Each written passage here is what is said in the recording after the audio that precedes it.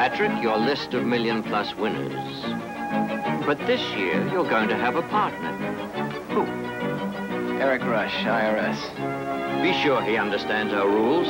If the winner has his ticket, he gets the money immediately. If not, there's a waiting period to determine if the ticket has been sold or given as a gift. And if so, the recipient becomes the new winner.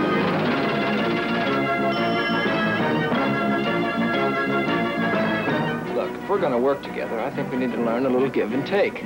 Certainly. I give. Oh, and uh, I take. Right.